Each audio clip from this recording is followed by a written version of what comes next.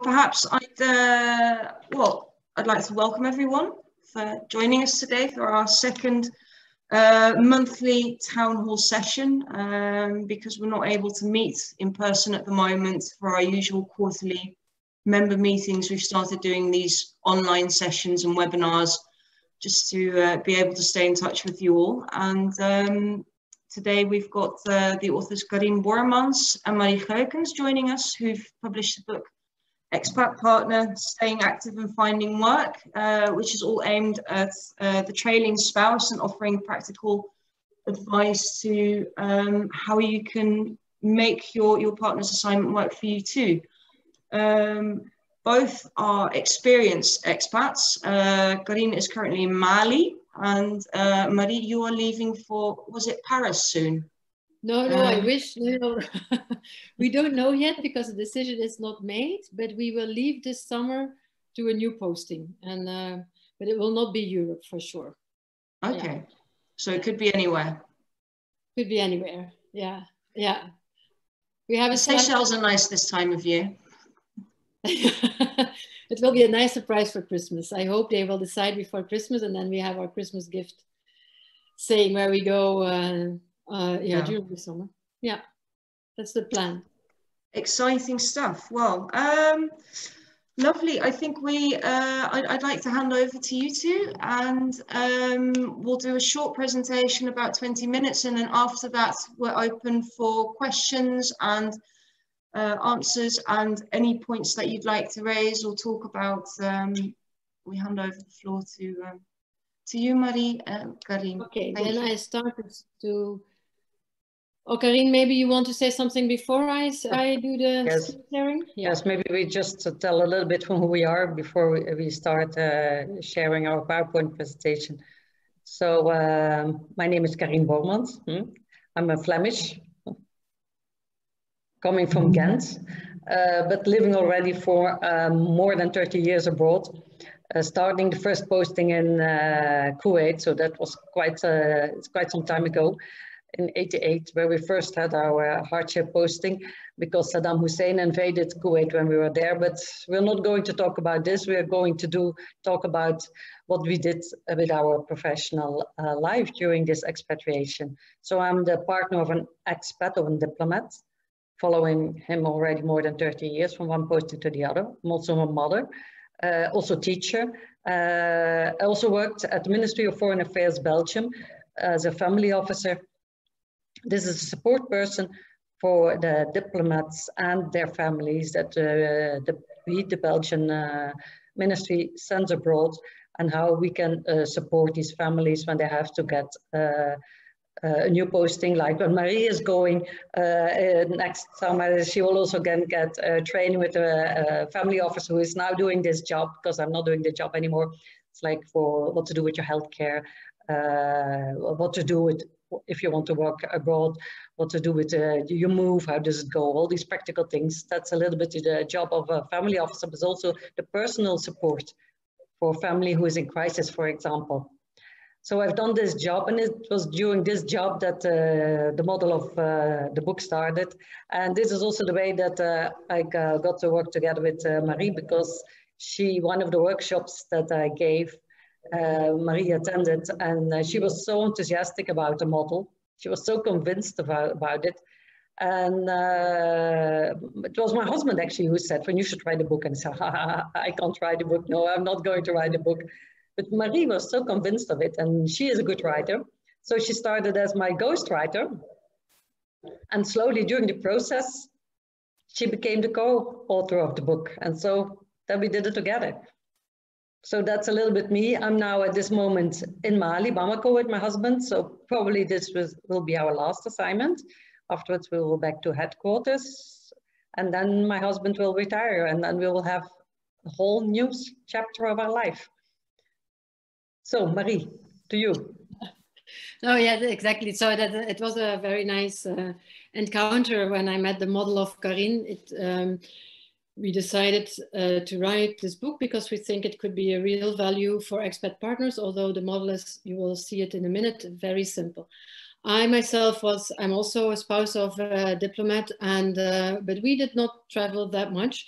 We went to Budapest and to Syria and to Ottawa, and into, since 2005, um, we are back in Brussels, and I was able to develop a more or less normal uh, career path it's not that normal because I was always thinking that within three years we will move again and we will, and so I didn't really was super ambitious or I didn't make really a plan.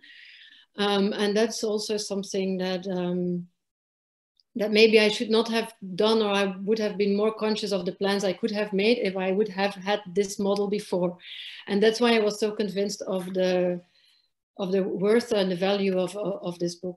So in the meantime, I um, studied also journalism and I uh, met you, some of you who are here this, this uh, afternoon already uh, when I was uh, the um, PR for Friends of Flanders, which was a, um, yeah, a television program to introduce expats to uh, Flemish people and to introduce Flemish people to the expats. So that was also a time that I was uh, very involved with ABRA because you could reach out to, to the public we, we aimed for. And now we do actually the same. So I'm very grateful that we can have this talk. Um, I'm working currently now for Marie Claire, the magazine. Uh, I'm the editor-in-chief for the French and the Dutch um, copy. So, so um, we had a hard time with COVID, but I think we can, I hope that we are still, um, that we will still publish the, the magazine uh, uh instead of 12 times, it will be 10 times a year, but still we, we survived COVID up till now. So that is a good thing. And anyway, this is an ending uh, job for me because in June I will, um, yeah, I, uh, I hope I will not retire, but I will quit the Marie Claire and uh, prepare the move with my husband. And we think that end of August or September, we will go somewhere. So exciting times, as Fiona already said. Uh, I'm the one in charge of the um, of the PowerPoint presentation, and it's my first time. So, uh, and I'm also 50 this year. So let this be an excuse if I'm not very agile in doing all this. And then I give the word again to Carine. Okay, thank you, Marie. Yes, yeah, so uh, we started to, to work together uh, uh, and uh, it was so nice working together with Marie and to develop this book because without uh, uh, this good teamwork we would never have this result. As I said, as a family officer, uh, I gave workshops to partners and you, you meet partners in your professional life as a because as a relocation officer or in the other or uh, I see there are also people from schools and banks uh, between you you uh, banks who send out expats as well. You will know that an expat will be happy when the family is happy.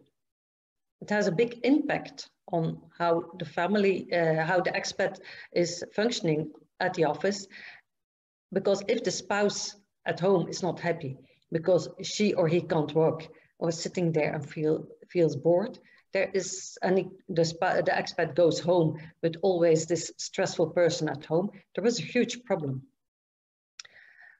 So we, uh, the Ministry of Foreign Affairs, we also started to, to be uh, proactive to help the people to do well what they can do if they want to find work.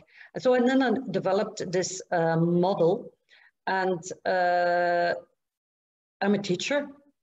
And if you want to explain to somebody what does it to you if you lose your job, then you have to think about, but what is it to have a job?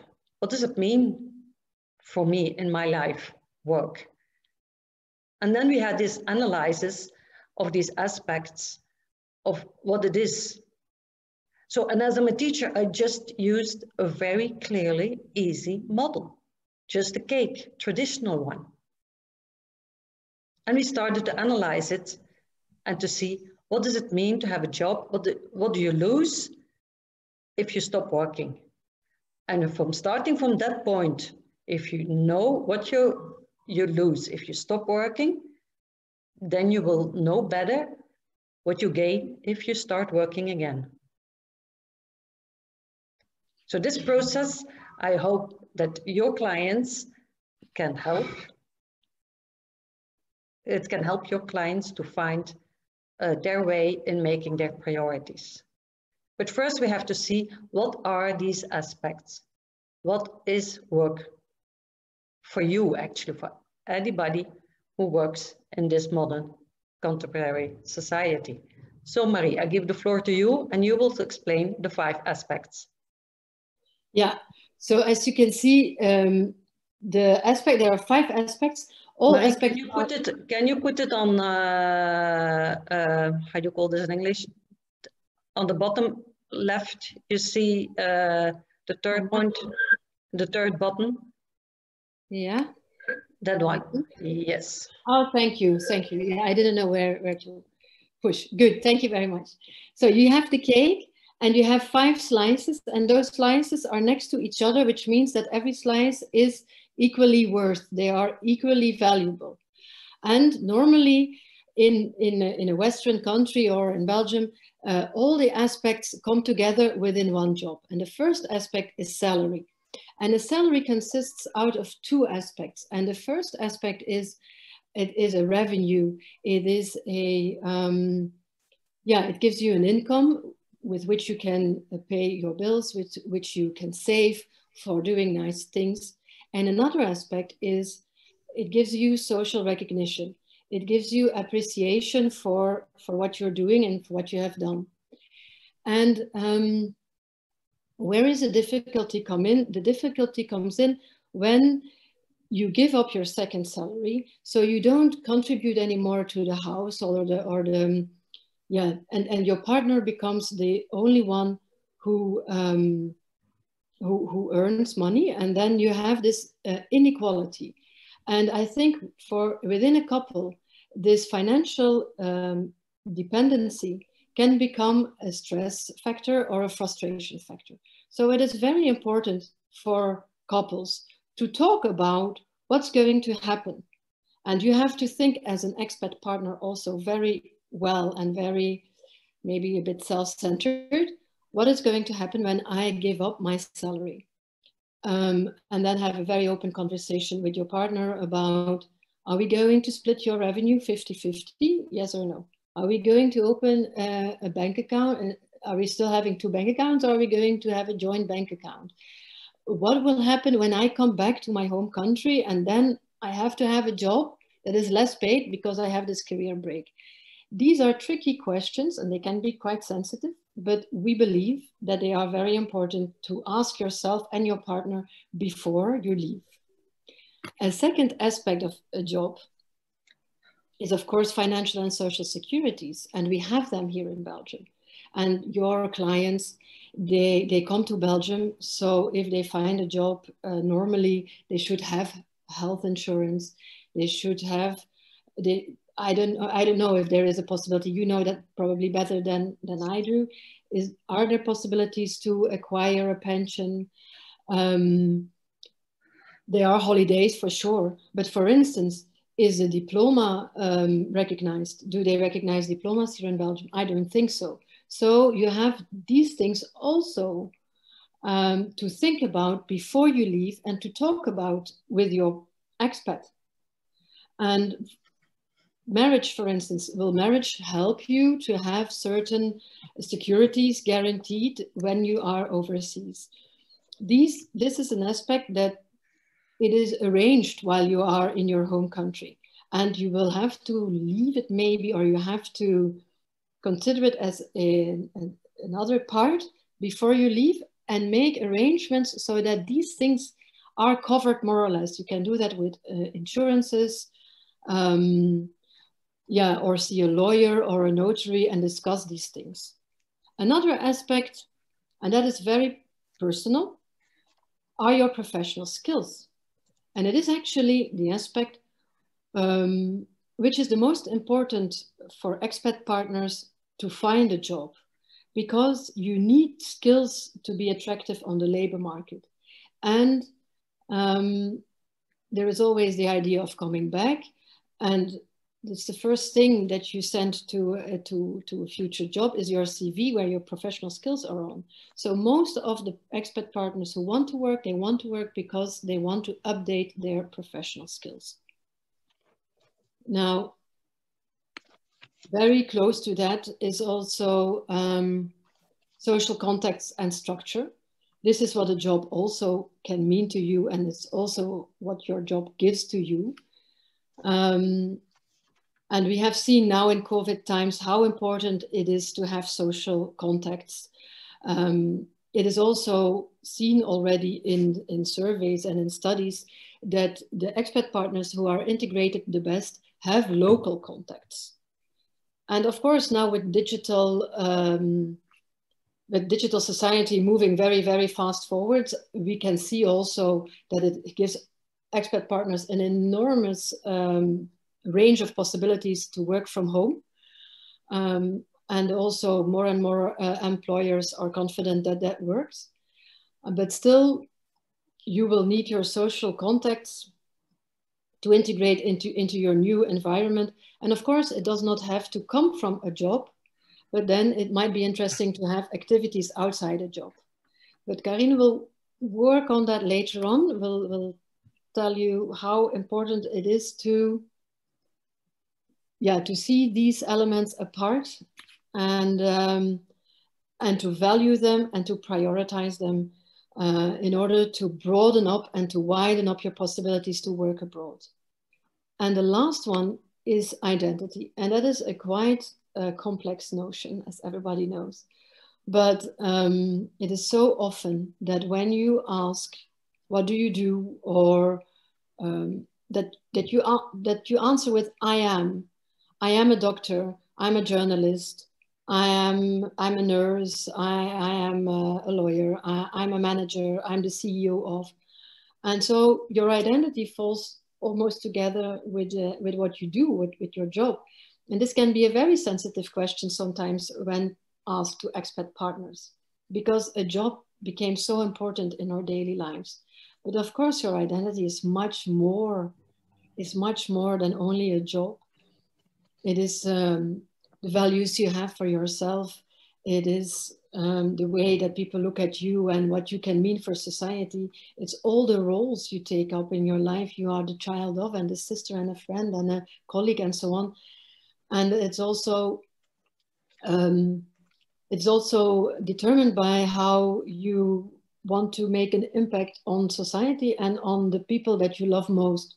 So there is a lot, these five aspects, they come with a job normally, but they won't come obviously or as an, as an obvious thing uh, when you go abroad.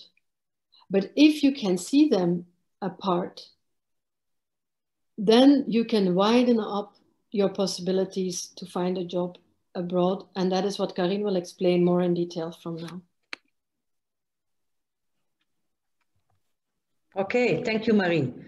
Yes, so we used to see work as, as a whole.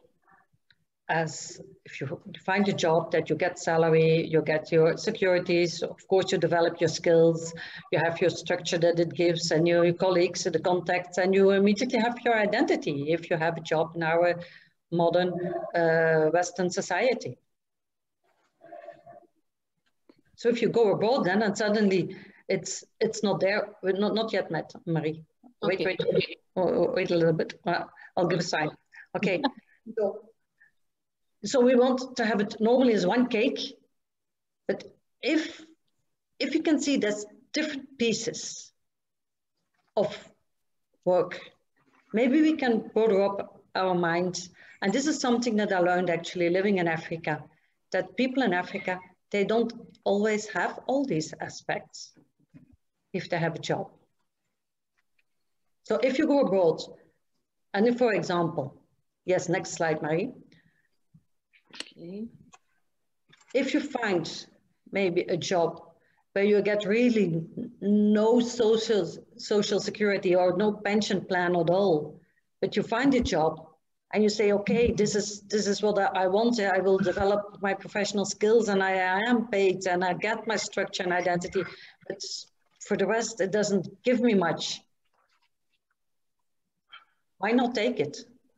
If you're in a position that you can find other solutions for these financial and social securities if you can make an agreement with your uh, with the expats about what to do if you don't get a good pension plan with the job you have abroad, but you can compensate it in another way through a marriage contract or whatever. Then you feel then that solution you find somewhere else. You don't have to find a solution for that aspect doing a job.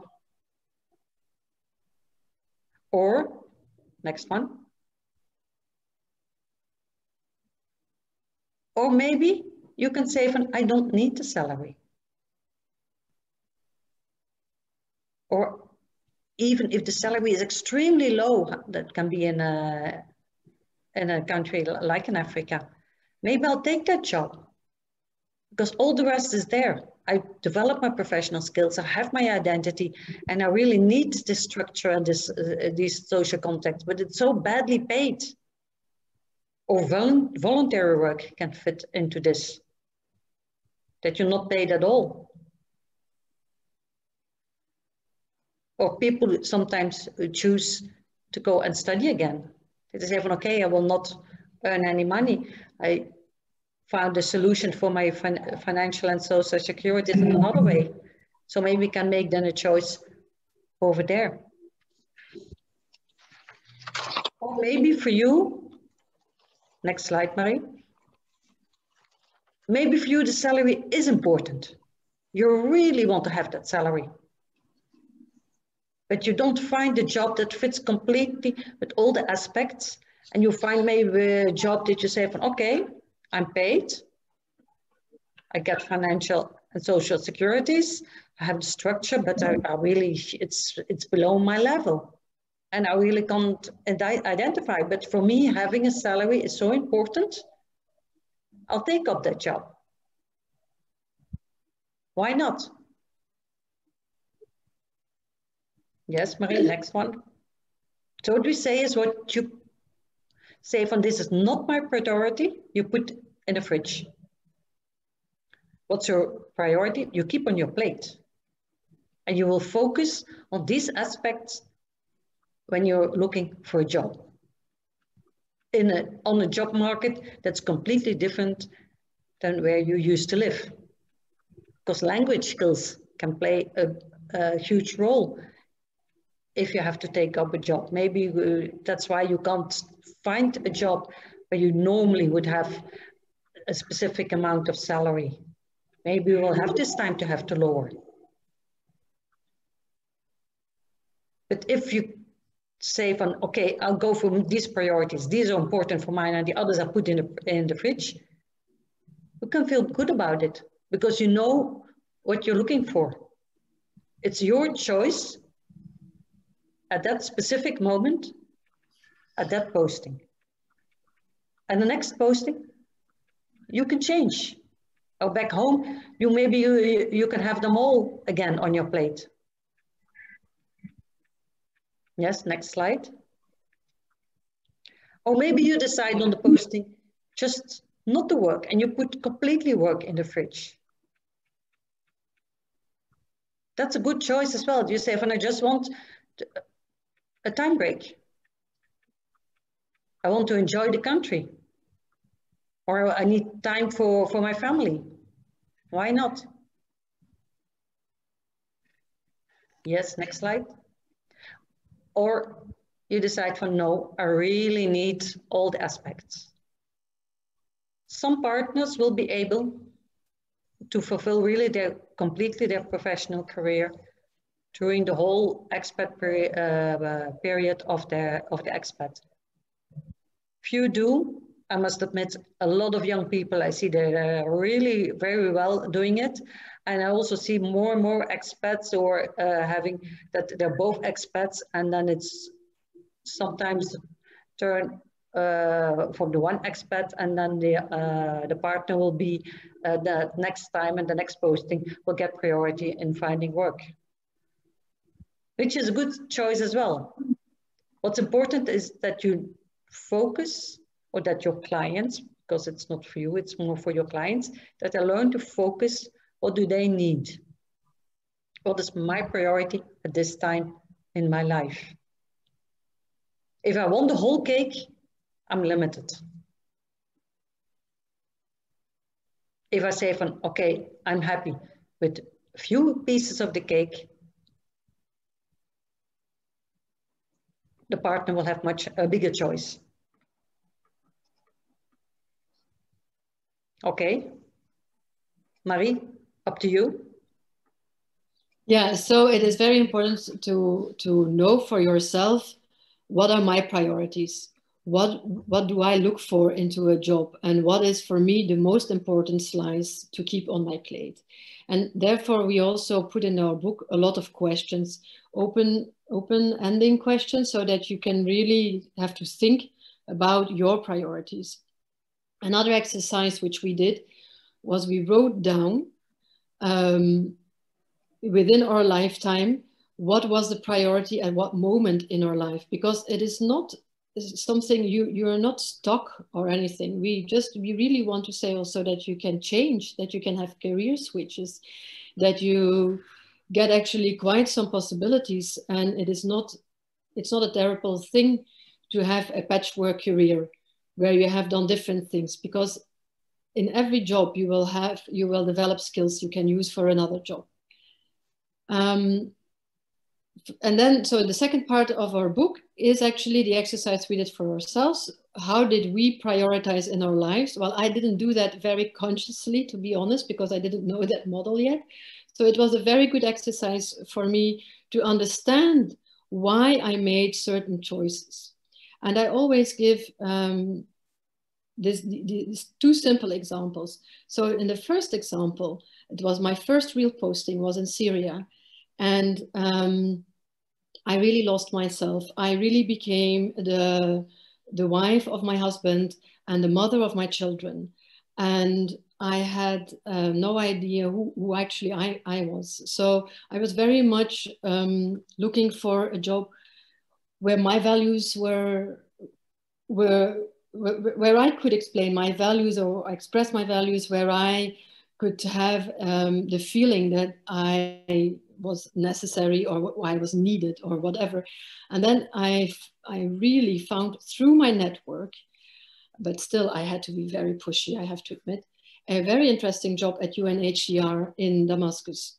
And it was possible because we had no um, I could work there as a spouse of, uh, of a diplomat, which is also something that is not uh, possible in every country.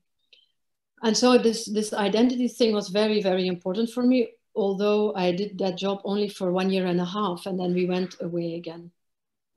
And actually, I could have made it my mobile career if I would have been courageous enough to go to UNHCR Canada and say, hi, here I am, and I can do when I want to do this and so on. But I, I did not do that.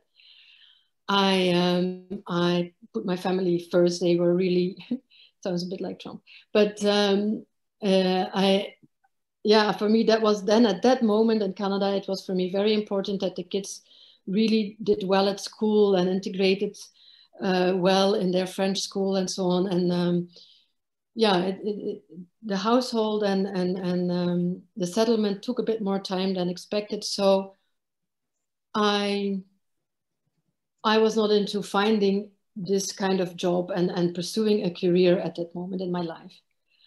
But then something really a detail actually happened in my life. I, I it is so funny sometimes how things can can turn out. I saw a totem pole in Canada, which I really liked. And my husband thought it was super kitsch. So we had, of course, this, disagreement. Like I really wanted that thing and I, I, I thought it was beautiful and it was a, a, a, a big symbol of, of our stay in, in Canada. And my husband, no, no, not one hair on his head, thought of buying it. And but I was 100% financially dependent uh, at that moment. So I found a job and I modestly say I was really overqualified to be a secretary at the Dutch embassy. but I, I really was, and it was a terrible experience to be honest. But I had my money, and after four months, I had enough money to buy my totem pole, and I quit. And um, and I and it's in the living room ever since. So I, I'm very happy. So at that moment, salary was the only priority I had uh, to, to find a job. And it was also difficult to find a job in Canada because there was no uh, bilateral agreement between Belgium and Canada that spouses would work. So considering the circumstances, I'm quite happy that it, it, uh, it went as it went. And, um, and then I had small jobs as teaching because I liked that. I am a, te- I'm a teacher as a profession as well. And um, yeah, and, and, and for the rest, it, th these are just to explain you what your priorities can be and that they can change over time. And um, yeah, and, and, and that there are many, many possibilities and that you have to go out there and go out of your comfort zone and network and be and be creative and um, and courageous also i think it's it's important for a partner for an expat partner um, i think they are sometimes more courageous than the the expats themselves. But that's my idea. Um, let me see. Yeah, so there, there is something maybe you can tell your expat partners, make this exercise once. It's such an easy model, uh, five aspects that are really obvious parts of a job, but it gives you a lot of insight in what thrives you, in what were your, um, yeah, your goals at a certain moment in, in time. And then there is a thing called flow. And I, I leave Carine to explain you what that means. Okay, thank you, Marie. Yes. So also working, uh, there is another aspect that we can add to the five. We can stick to the five and analyze only the five, but there is a sixth actually. A sixth, and this is what we call flow flow in the same meaning uh, as uh, Mihaly, Csikszentmihalyi, an Hungarian-American uh, uh, psychologist developed this uh, concept. And flow is something, it's a state of mind that you get when you're fully concentrated in an activity the activity is very clear, it is defined, and you get feedback afterwards. You know what you're doing. It's challenging, but it's not too difficult. You can manage it, you have a feeling of control. You forget about yourself, you forget time, you forget your worries. So you're really focused and you're not in the emotion. The emotion you will get afterwards. Then you will be happy that you've done this or that, but you're really very concentrated. This state of mind he calls flow. And a lot of people have flow during their work. So that means if you stop working, and if you, if you had flow always or not during every minute, of course, at uh, your job, but quite a lot of time during your job, you also lose your flow. That can make you very unhappy. So flow we added as a sixth aspect. So this is the third part of the book where I'm talking about. I'm not going too much uh, deep into it, uh, but it's an interesting aspect. Uh, next slide, Marie.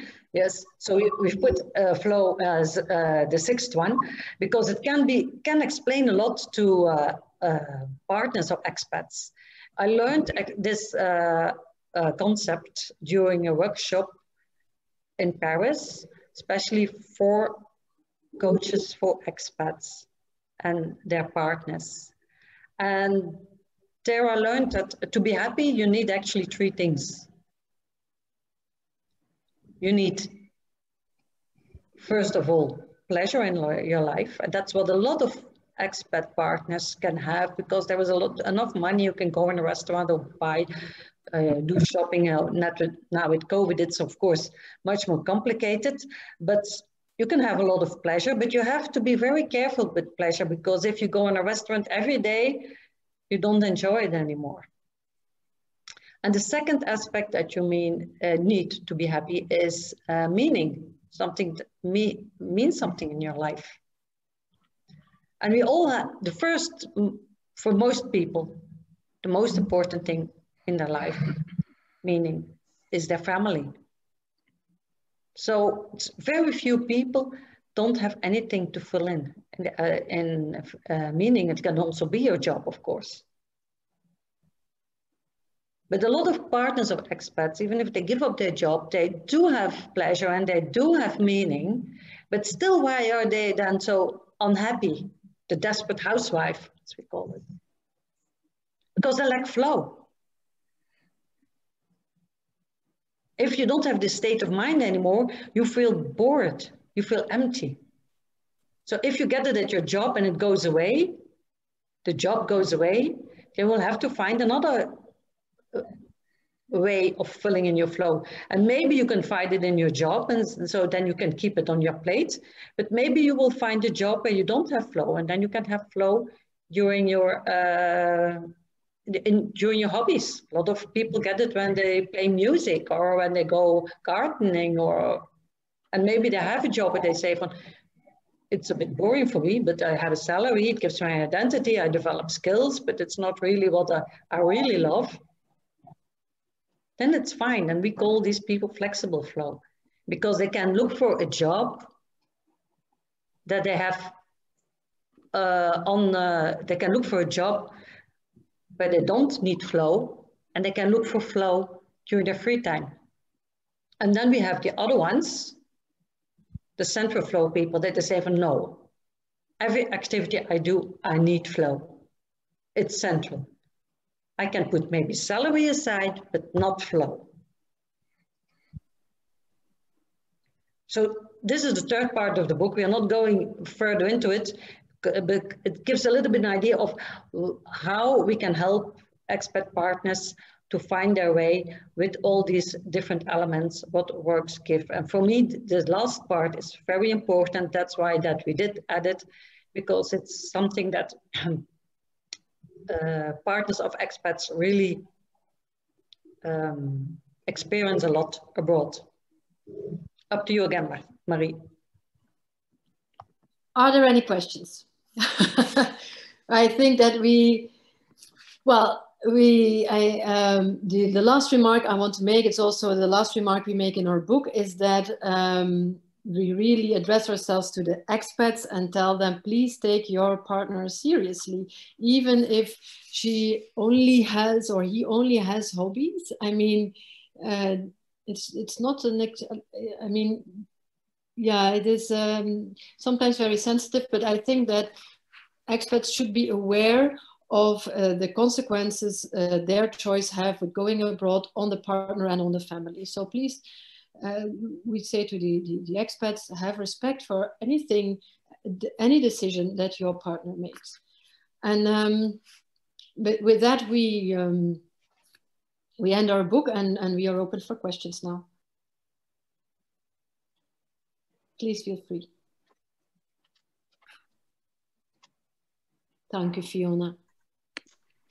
Thank you, uh, Marie. Yes, um, I uh, that, that's great. It's very, very true, right? Because I think it's something like 74% of uh, assignments that end early are, are due to unhappy spouses, if I'm not mistaken. Uh, it's, it's a very, very big number at least. Um, yeah, so no, Yes. Yeah, no, it's Sam from NetExpat. If I can, if I can just jump uh, jump in, if, if Carine and Maria are happy. First of all, great presentation, and, and thank you so much because it brings uh, truth to, to us at NetExpat. I, I, don't know if everybody knows who we are, but that's what we focus on is, is uh, partner assistance and supporting the relocating partner at, a global level.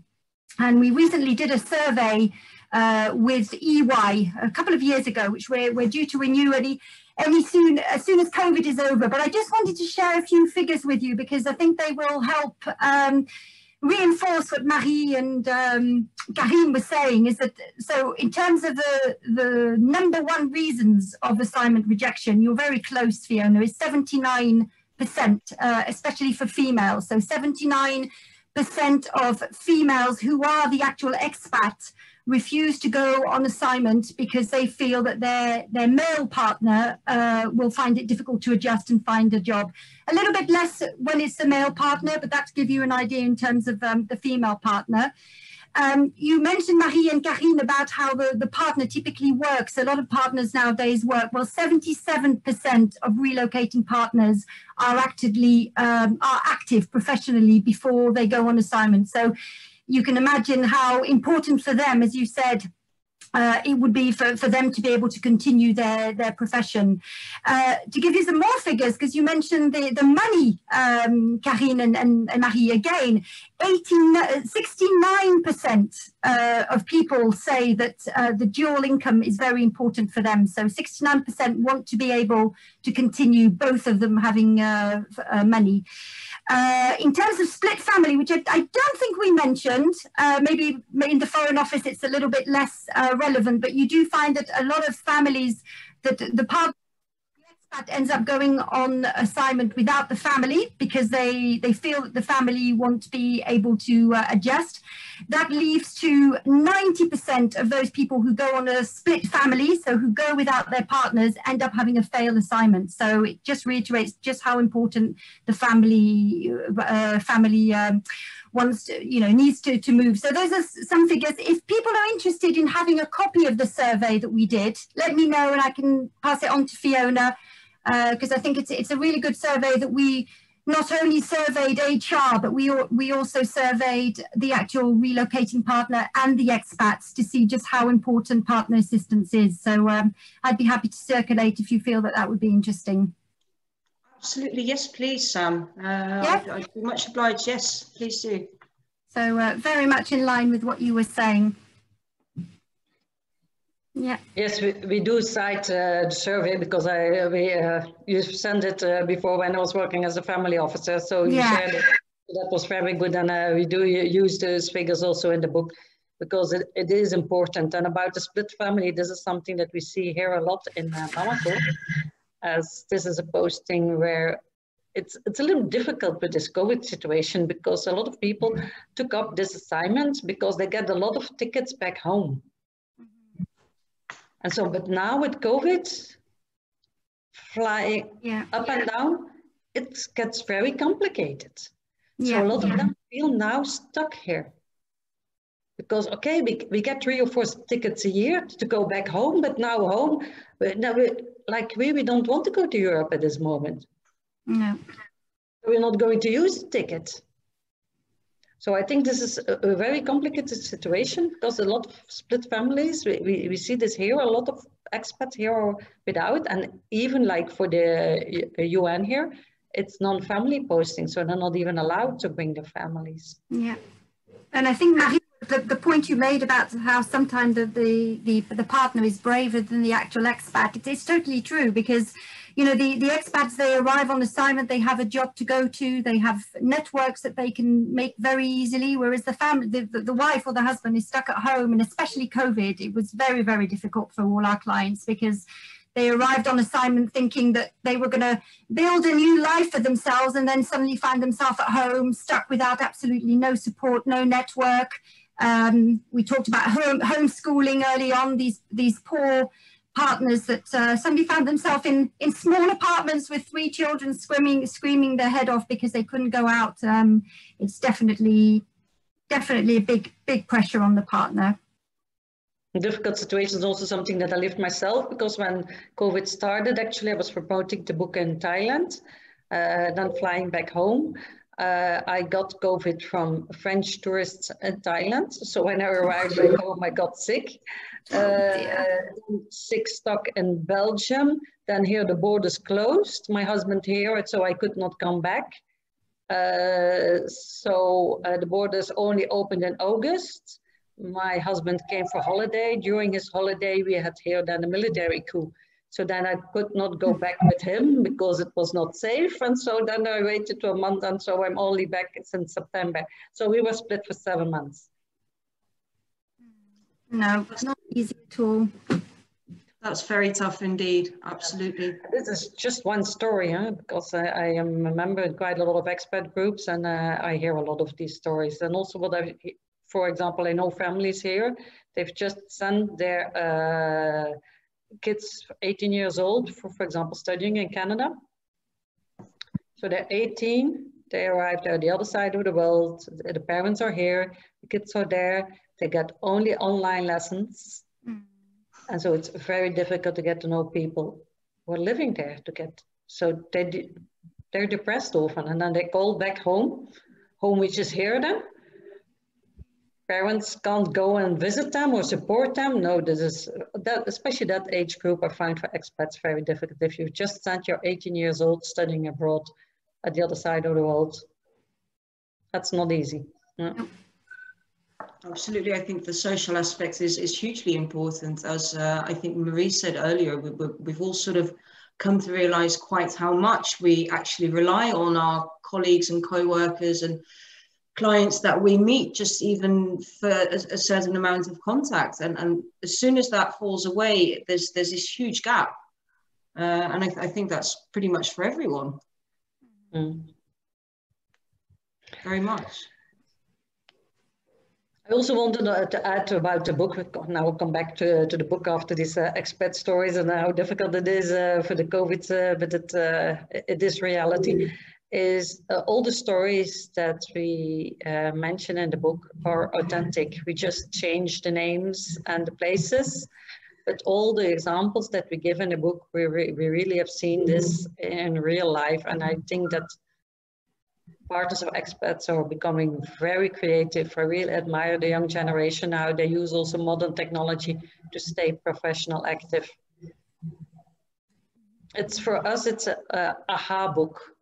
It's not a big book. It's really, it's a tiny one. It's only, I think, I have it here with me about 200 pages, not, not even uh, yet, but it's, so it's, it's not a thick book. And uh, so you have it with it is. It's actually a really nice yeah, read. And the cakes and things like that. And yeah. it's so that you can read it very easily, quickly. You go through it and you have just the idea, aha, that's it. I can do something with this model. And I uh, gave it here to quite a lot of uh, my friends here in Bamako as a present. And even the French mm-hmm. speakers here, where I, I gave to several French speakers, and they say, okay, the English is really not too difficult. We can read it, we can do something with it. So even you can recommend it to French uh, speaking uh, expats, uh, they do have to know a certain level of English, but they're quite enthusiastic here in, in Bamako about it.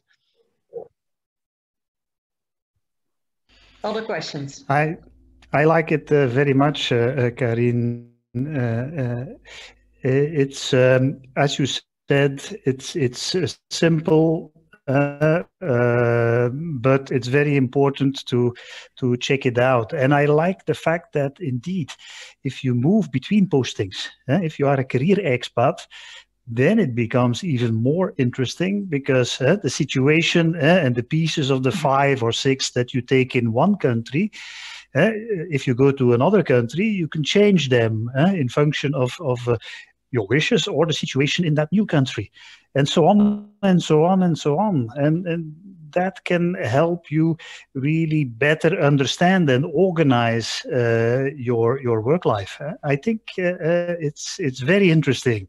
Um, one because it's it's uh, it's a, a, correct but simple model, uh, and uh, you can use it throughout the whole career and all the moves. Thank you something you said, Marie, was which was very interesting as well, is is the fact that for some of these partners, it's it's about remaining marketable uh, and not necessarily not necessarily the, the money side of things, but going from one posting to another. And I think that's particularly true for for you guys because a lot of uh, private clients they do tend to go on assignment for a couple of years and then they go home and it might be three or four years before they go on assignment again so they can go back to their career Whereas in my experience with the Foreign Office, because uh, we, we work a lot with the UK Foreign Office, they just constantly go from one posting to another. And then 20 years down the line, they return to the UK and and they feel they've given up their career for 20 years and, and, and what now? So it's, it's very important about remaining marketable, absolutely. And especially in, in countries where you guys tend to send people, it's not always easy to work there. It's not as straightforward with work permits and things like that. So you need to stay very creative.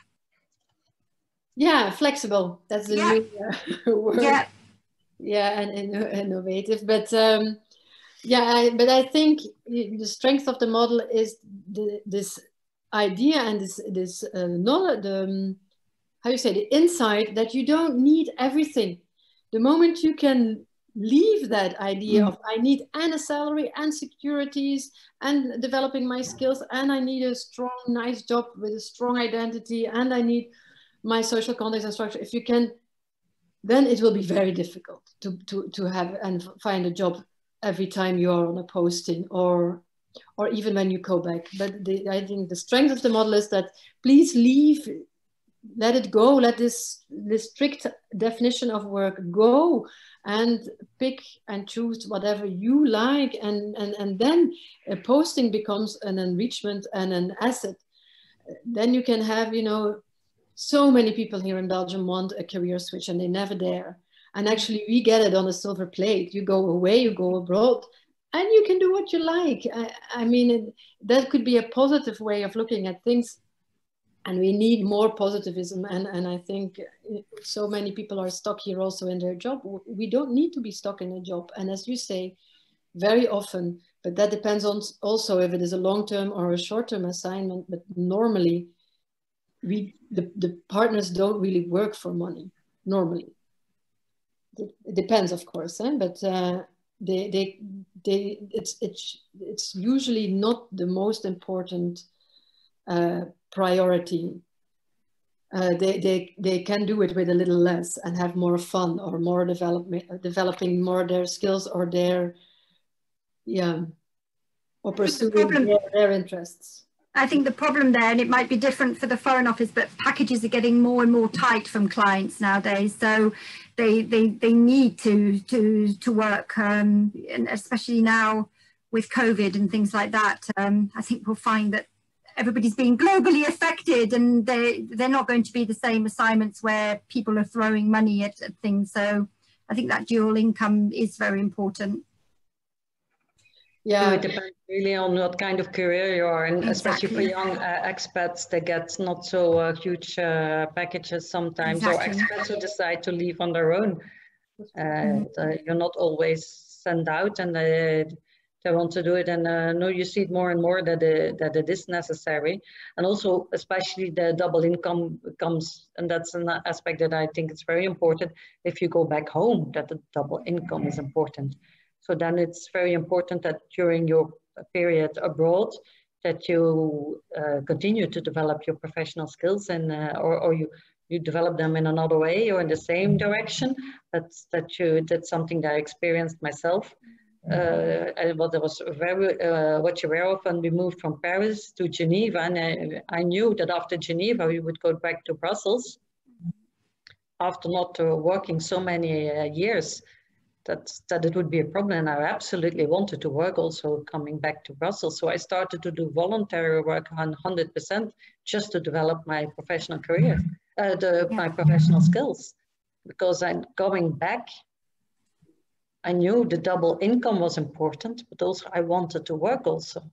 Mm -hmm. So this is also that you sometimes have to think about the long-term process. Where, where do I want to go? Uh, is this a kind of expatriation for the rest of our life? That's, I think, in very few careers you have this, like in the diplomacy. But uh, if you're in a private business, you, you don't know how many assignments you will get. Mm -hmm. No it can be very I think, as you said, as you said, uh, we're, we're, we're far too independent as a generation to to be relying on on the other half to to to pay for everything. You know, you, you want to be able to buy that new handbag and with your yeah. to go and ask somebody for it. and also, we have, of course, divorces. Also, people who divorce. Yeah. So also, you have Absolutely. to think what, what happens if there is a divorce. Then I'll have yeah. to go to the, the job market and yeah, or death. I mean, that's happened as well. People, people passing away on assignment. It's well, it's horrible. Yeah, but it happens. Mm. Yeah. Mm -hmm. So uh, quite a lot of things to think about it, and all these things we, we question. So we put all these aspects in, uh, in, on the table. We give no answers. We just put the, the right questions, I think, on the table And it's for the reader of the book to see what question is for me important and where can I find my answer at this specific time in my life in this place. So it's a self-help book. The person who is reading the can go through it. Of course, maybe this person will need a coach afterwards. That's possible. You can always take a coach to go further into it, but quite a lot of people can manage actually very well with just a self-help book. We don't all need posting, uh, coaching, but some do. Some are better off with a coach. So it's very personal how, how, how you live this.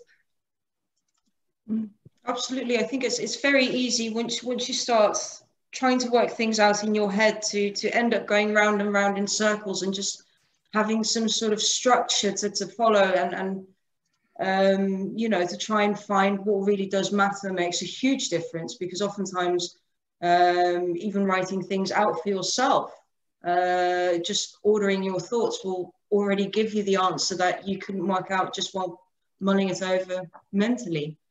Um, so it's absolutely, it's a hugely valuable tool in that regard.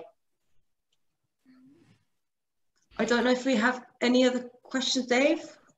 Well, just to follow up on what what Carine uh, said, indeed, uh, with the help of uh, of a good book, uh, and and uh, every case is individual and different anyway.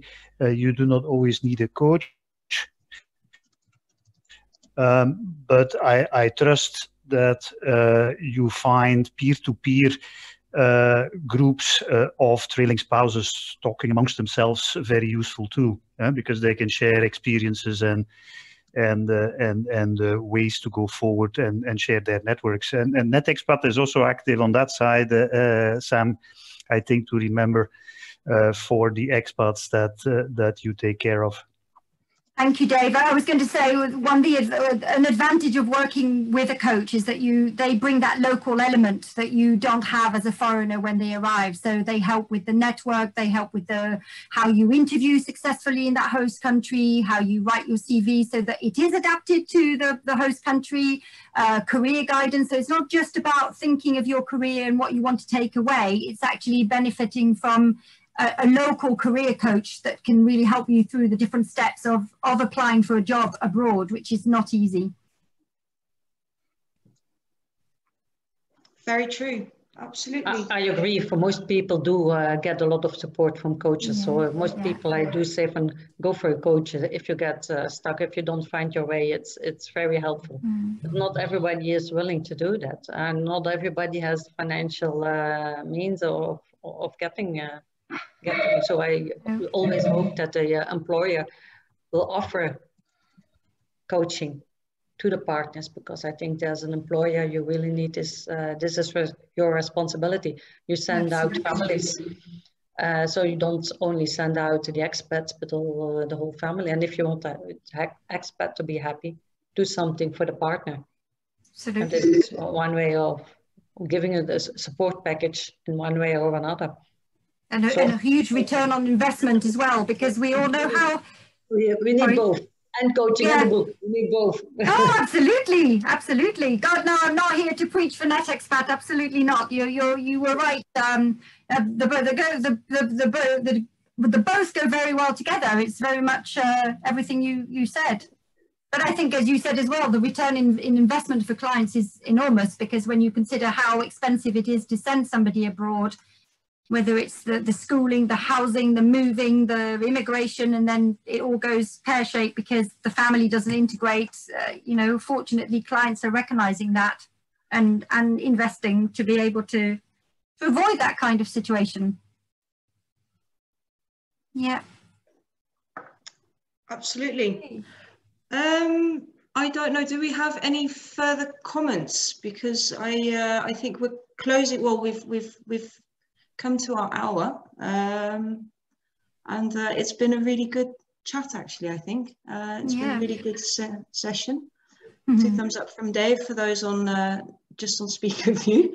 Um, yes, so thank you, Carine, thank you, Marie, and uh, thank you also, Sam, for all the insights and, and figures. It's been uh, really enlightening. And um, Yeah, it's been great. I, our next meeting is on December 1st. That's our official members meeting. Unfortunately, it will also be via Zoom, um, but we'll be talking about Brexit. Joy of joy. Oh, yeah. Well, I would like to add one small thing. The book also exists in Dutch, not yet in French. Ah. We don't know if we're going to do, but it exists in Dutch.